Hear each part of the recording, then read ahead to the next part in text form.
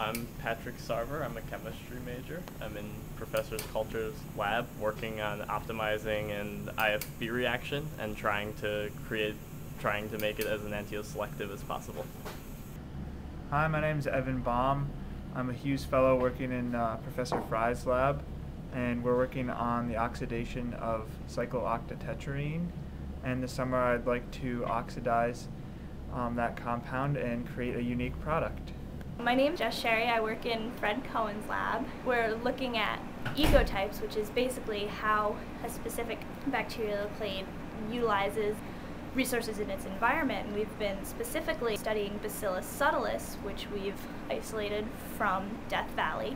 And so what we're doing is studying the effects of salinity on how this bacteria forms ecotypes and how it evolves and adapts to its environment. Um, we've looked at salinity because there's a really cool stress response in Bacillus subtilis that's induced by exposure to salt. And so basically I've been working on isolating some higher salinity strains of Bacillus subtilis and then what I'm going to be doing is growing them in competition with one another to see if in actuality they're more adapted to the higher saline environment.